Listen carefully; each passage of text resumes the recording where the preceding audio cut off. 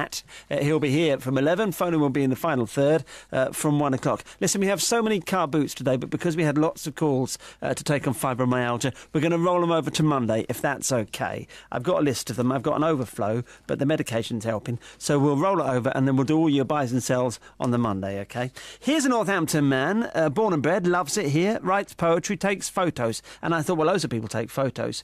There are loads of people into photographies. Nothing special. These are really, really unusual. Imagine portrait photos, really, really light, black and white they are, and the white is very pronounced, making the hair and the eyes and stuff even more unique. I've not seen anything like it. But will you meet, please, uh, James McInerney? Nice to see you, James. Thank you. And uh, how do you do that then? Is that like Well, an actually, overdeveloped thing? What I want to sound really professional, but I take them in my bathroom Do you?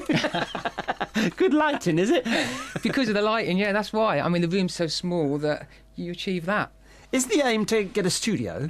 Love to, if anyone's offering. It's very difficult, isn't it, yeah, I kind of know. thing? Um, I took started it off as a kind of a hobby, you know, and it still is. But I would love to take it further. I mean, the photos, I get such a good response on Facebook. I love these because you just see the prominent features like the hair and the eyes, and you've got facial hair there. Mm. Yes. And the wrinkles and the blemishes are not visible. Yes. I would look great in this. Edited. Do me like that.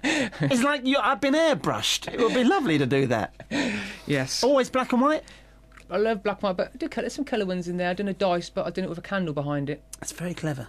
Yes. I like, you know, Robert Mapplethorpe. You know Robert Mapplethorpe. No, I'm Uh, sorry. he passed away now. He was- a New York photographer, and he was friends with uh, Patti Smith, the, uh, the, the the rocker, and he did uh, uh, a lot of black and white flowers. Oh, and it was genius work. Just a, there is a flower single one in there. there. Yeah, that one. Yeah. Now you've got several, uh, the light daisies, and Yeah. Mapplethorpe would just uh, home in on just one. Yes. And maybe take like a couple of petals. Yeah. And the central bit of the flower. And There was a so sunflower in there. If you look, um, That's lovely. that's it. Yeah, just That's before lovely. it opens.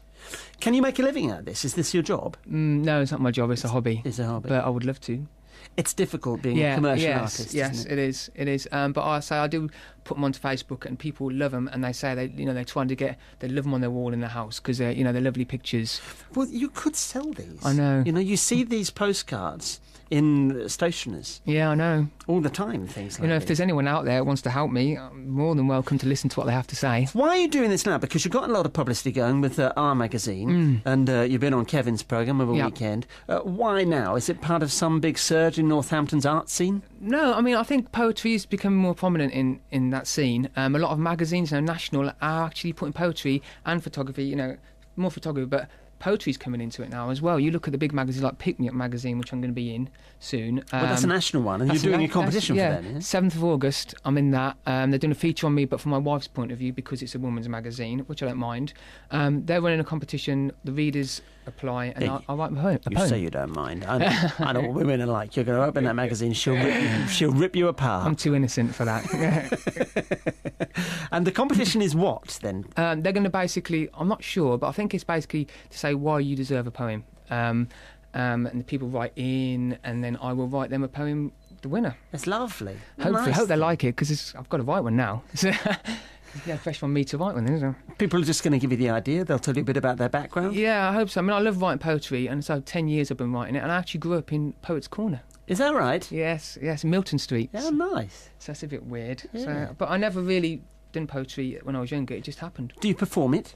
Um, no. I get people to um, do voiceovers for me. So why don't you perform it?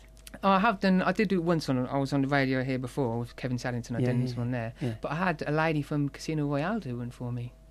So she did a voiceover for free. So And people for free. That's Yeah. what you want. yes, yeah. But if you go on uh, uh, uh, James's Facebook, you can find all the stuff there. Just type in uh, Facebook and then your name. So it's actually James McInerney. I have to spell that because it's a bit weird. M C I N E R N E Y. You say that's the weird bit. I've been calling you Tim all morning. Yeah, and it's Depreciation Society on the end. I know. That's, you've got a, an artist ego already. The James Yeah, McInerney I just want to get Appreciation Society. and people to look at my work because it's okay having all the work there, and if no one ever looks at it, it's no point in being there. But Do you want it to be published? I would love to. I mean, I would love for someone out there to help me do a book of poems uh, with photography, like a coffee book table, you know, coffee table book that you'd have on there. But have you approached people? Haven't yourself? yet. I was trying to see how these things went, you know, with magazines and that, because I'm thinking, am I credible enough, you know, to approach? And there's always a worry in your mind, you know, you love your work, but you think, what do people think, you know, and and I don't know. Well, the pictures uh, of you, and they are chiefly of you on the website, and I was Yeah, I through like the Facebook yes. ones. I think, oh, blimey, there's an ego here. Oh no, it's not. It's because I love taking pictures. No one, and other people don't want to pose in front of pictures, but I like taking pictures, and I love anything black and white. Yeah. So people do really love them on Facebook. So And because you have you have tattoos, you've got a tattoo. I've got two, here on my the- kids' names, my arms, and my wife's name on that. Arm. on your bicep and up by the shoulder. Yeah, yeah. And there's photos of you, and because they're so um, to say faded is not right, but they're- so white and the, the, the dark is prominent. They're ever so striking because you almost can't see your body. Yeah. So it's a bit like this tattoo Yeah. is floating in air. I love, I love that with the complete. I mean, if you see that picture there in the magazine, that's pretty much what you had. They haven't edited it or anything. The white background, and they've made use of that. So I like the fact that you can't see anything else in the background. You Yeah. know, it's pure white. It's very clever. It's very unusual. Anyone else doing it? not that, not looking like that. I This don't is your own so. style, is? Oh, very, yeah. It's nothing that I've seen. People keep saying to me, "Wow, that, are they professionally done?" And I say, "No, take them in my bathroom." Mm. With what kind of camera? Canon 30, 350D. right, is that like a posh one? Yeah, it, it- Is it's it? very expensive, and you can change the lenses on the front, and it's all. I'm not te- into the technical side of things. I just point and click. And, Digital? Yes, definitely. Oh yes, digital, digital. See, I'm still Polaroid, man. Oh, I uh, too expensive. They weren't when they came on the scene. Are they not? No, a little old back in the seventies, little old uh, Polaroid, and you'd always wave it in the air. You'd waft it in the air to get to the. But all the shops are closed down now. They seem to have disappeared from the high street, don't they? I know. My entire youth is being brushed aside, James. Shocking, really. Um, there's a theatre group.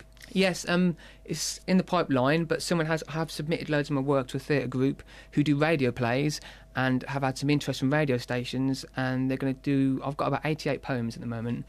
I've got over 100 now because I've written new ones, and they want me to submit work to them so they can record them all Yeah. and add their music to the background. So that's in the pipeline, but it's a good way forward. Are you together with other people uh, doing doing this? No, solo. It's very tough, you know. Yeah, I isn't it? know. I know. It is. That's why I have, you know, I promote myself on all the networking sites like Facebook and YouTube and all that. And you know, Facebook's gone really well. I've got my own group, like you say, you mentioned it, yeah. and everyone so much support on there, um, and so much support from radio stations as well. But I'm thinking if you're part of a group, then you'll meet other people who have tried to get their work published, Yeah. who've tried to get exhibitions going. Yeah. Because it's an uphill struggle. Oh yeah, it is. It's hard. There are places uh, in Northampton uh, that will display work. I don't know how much of it is ever seen. You really want a place in London. Yeah, And of course, for that, you're talking top dollar, aren't you? I for know it's it's hard. I mean, you can't just do something one day and the next day it's everywhere. It- you have to really try hard and do take every single email, send all emails to everyone, and just hope that something comes from it. You know, hmm. that's why I was hoping. You know, you come on somewhere. I hope your listeners are listening.